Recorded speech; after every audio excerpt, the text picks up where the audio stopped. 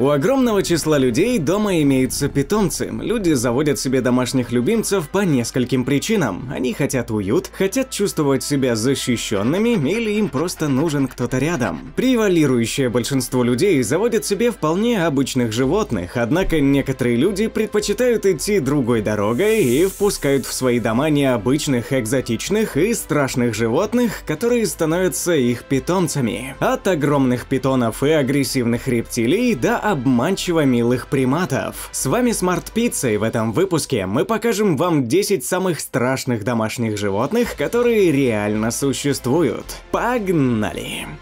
Номер один – скальный питон.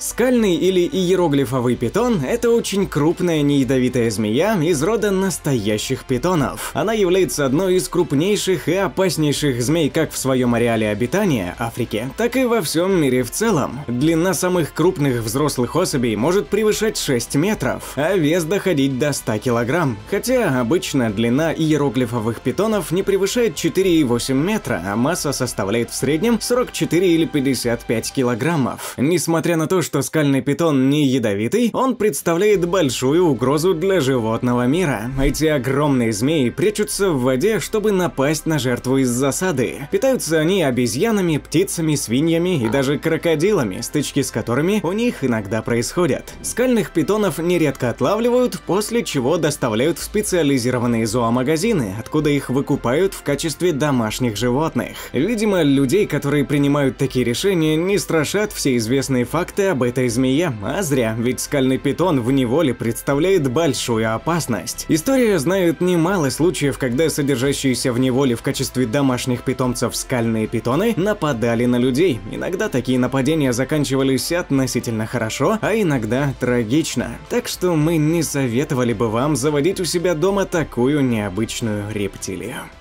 Номер два. Варан Сальвадора. Варан Сальвадора – это крупный варан, обитающий в Новой Гвинее. Это самый крупный варан в Новой Гвинее и одна из крупнейших ящериц в мире. Длина самой крупной зарегистрированной особи составляла не менее 265 сантиметров. В среднем же эти вараны достигают в длину около 2 метров. Как можно догадаться, варан Сальвадора – дикое животное. Эти темно-зеленые особи обитают в мангровых болотах и прибрежных тропических лесах в юго-восточной части Новой Гвинеи, где являются доминирующими хищниками. Они используют свои эффективные зубы для захвата крупной и быстро движущейся добычи. Вараны Сальвадора – это одни из самых агрессивных ящериц во всем мире. Они территориальные и беспощадные, поэтому встреча с ними даже в дикой природе может привести к печальным последствиям. Но, несмотря на все это, некоторые люди заводят варанов Сальвадора в качестве экзотичных домашних питомцев. Скажем сразу, это не лучшая идея. Вараны этого вида предпочитают атаку отступлению и могут быть очень опасны для домашних животных или человека. Будучи потревоженным, варан Сальвадора, несмотря на свой небольшой размер, способен нанести очень тяжелые травмы или даже убить человека. Один единственный укус варана Сальвадора вызывает болевой шок у взрослого человека, а раздраженный или загнанный в угол варан легко расправляется даже с крупной собакой. Номер три. Толстый Лори. Наверняка многие из вас видели толстых лори на картинках в интернете. Внешне это действительно невероятно милые животные, которые буквально притягивают внимание людей своими необычными глазами. Неудивительно, что многие люди на это ведутся и заводят толстых лори в качестве домашних питомцев. Что ж, должны сказать вам, что делать этого не нужно, так как толстый лори – это типичный пример того, как природа может нас запутать. На самом деле это очень опасные животные, животные с ядовитым укусом. На локтях животное имеет особые железы, которые вырабатывают опасный токсин. В дикой природе самки обмазывают своих детенышей этим токсином, чтобы уберечь их от хищников. В неволе же токсин может быть использован против хозяина. Если толстый лори почувствует опасность или увидит приближение незваного гостя, то он высосет яд из локтя, наберет его в рот и укусит человека. Помимо того, что укус очень болезненный сам по себе, он имеет крайне неприятный неприятные последствия, варьирующиеся от удушения до летального исхода. И хотя некоторые люди все равно заводят себе толстых лори в качестве питомцев, мы бы рекомендовали вам держаться подальше от этих милых, но крайне опасных существ. Номер 4. Крокодил. Крокодилы – это поистине красивые рептилии. Это необычные и экзотические животные, которые обладают целым рядом уникальных и интересных свойств и качеств. В дикой природе на них смотреть одно удовольствие, если, конечно, зверь находится на достаточном расстоянии. Однако крокодилы бывают и в неволе, их отлавливают по разным причинам. Какие-то крокодилы поступают на черный рынок, где из их кожи делают различные изделия, какие-то становятся вкусными деликатесами, а какие-то лета отправляются в различные заповедники на фермы, откуда их иногда можно выкупить. Некоторые люди так и делают и заводят крокодилов в качестве домашних питомцев. Безусловно, это интересный выбор, ведь далеко не у каждого человека дома есть настоящий крокодил. Однако в погоне за экзотикой люди забывают, что крокодил – это прежде всего очень опасная рептилия и одно из самых опасных животных в мире. Несмотря на внешнюю неторопливость и расслабленность, крокодилы могут стремительно стремительно набрасываться на своих жертв, впиваться в них и не оставлять им ни единого шанса. Крокодилы очень трудно поддаются дрессировке, поэтому шанс таких нападений на хозяев дома очень велик. Поэтому держать крокодила дома – это безумие. Но даже если хозяину удастся каким-то чудом приручить и одомашнить эту рептилию, то есть еще одна проблема – это размеры крокодила. Эти животные вырастают до нескольких метров в длину и могут весить около тонны. Думаю, все мы понимаем, что содержать и кормить такого гиганта в домашних условиях – это одно из самых странных, сложных и даже глупых занятий. Номер пять. Волк.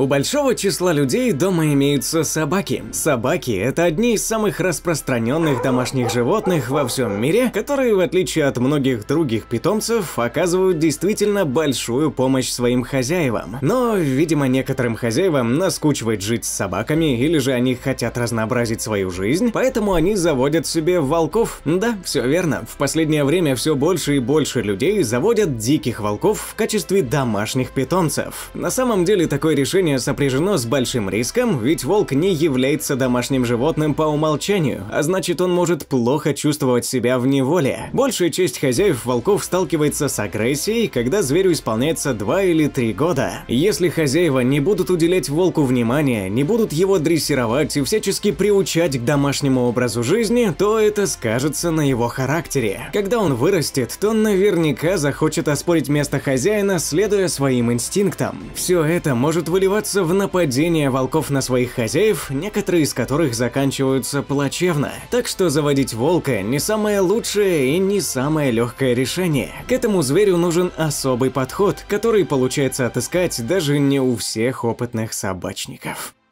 Номер 6. Обезьяна. В последнее время все больше и больше людей стали заводить обезьян, на то есть свои причины. Обезьяны – это очень милые и притягательные животные, они весьма забавные и умные, и с ними можно неплохо провести время. Вдобавок, они всегда выглядят очень безобидными, на самом деле это лишь видимость. Обезьяны далеко не самые лучшие домашние питомцы, главная опасность, которую они скрывают – это беспричинная агрессия. Они могут просто так напасть на своего хозяина и причинить ему серьезный вред, причем это может произойти совершенно спонтанно, когда от обезьяны ничего не ожидаешь. Стоит отметить, что если взрослых людей обезьяны в основном опасаются, то на ребенка они могут наброситься без каких-либо проблем. Как минимум, такое нападение может обернуться увечьями, ссадинами, порезами и последующими шрамами. Но что хуже, так это то, что обезьяны, как и лисицы, являются переносчиками различных заболеваний. В частности, они разносят инфекции, которые могут передать передаться хозяевам после нападения. Стоит задуматься, нужны ли вам подобные проблемы. Номер 7. Медведь.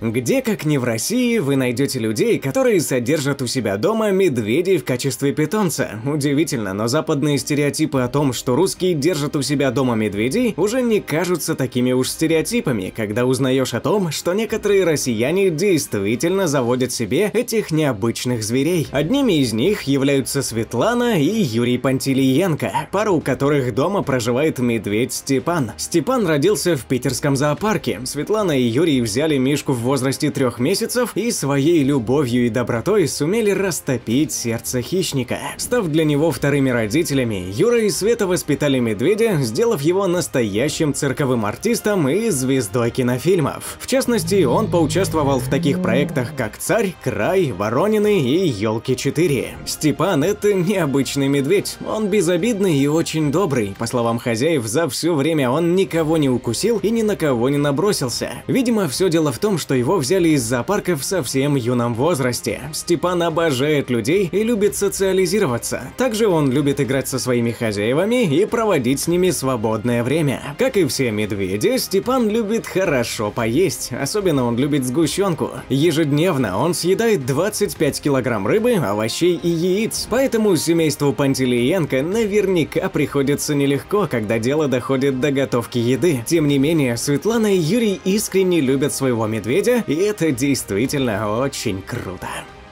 Номер 8. Лисица. Несмотря на то, что лисица – это дикое животное, некоторые люди заводят ее в качестве домашнего питомца. Безусловно, лиса – это красивое и грациозное животное, которое может поразить любого человека как своими уникальными чертами, так и интересными качествами и способностями. И все же не стоит забывать, что лисица – прежде всего дикое животное, которое не подходит для домашнего содержания. Главная причина заключается в том, что лисы являются переносчиками целого ряда опасных заболеваний, одним из которых является бешенство. Вдобавок, лисицы нередко могут быть носителями различных паразитов. Так что забирать диких лис к себе домой и превращать их в питомцев – глупая затея. Лучше отдать предпочтение обычным кошкам, которые уже давно проверены временем, или же иным проверенным домашним питомцам. Номер 9. Черепахи. Несмотря на то, что черепахи – одни из самых популярных домашних животных во всем мире, некоторые виды представляют большую угрозу для своих хозяев. В частности, такие большие особи, как гигантские или сейшельские черепахи. Многие виды черепах агрессивны, особенно если мы говорим о морских разновидностях. Они могут нанести хозяевам глубокие раны своим мощным клювом. Также черепахи нередко становятся источниками вспышек сальмонеллеза. 80 или 90% случаев случаев заражения этим ужасным заболеванием обусловлено контактами с черепахами. Подхватить сальмонеллез легко, достаточно не мыть руки после прикосновения к животному. Больше всего от этого страдают дети, так как именно они чаще остальных членов семьи берут черепах в руки. Номер 10. Скорпион. Ежегодно тысячи людей заводят себе опасных скорпионов в качестве экзотичных домашних питомцев, видимо забывая о том, что некоторые виды скорпионов крайне ядовитые. И ежегодно тысячи людей становятся жертвами этих членистоногих. Причин может быть несколько. Это и неправильный выбор скорпиона, и ошибочное предположение в том, что питомец может быть не ядовитым, и неправильное содержание членистоногого. Скорпионы отличаются небольшими размерами, поэтому их попросту попросту можно не заметить на диване или кровати. Дома можно держать разве что слабо ядовитых скорпионов и только в инсектарии. А на этом все. Напишите в комментариях, какое из этих животных вы хотели бы иметь в качестве домашнего питомца. Не забудьте про лайк, подписку и колокольчик. Спасибо вам большое за просмотр.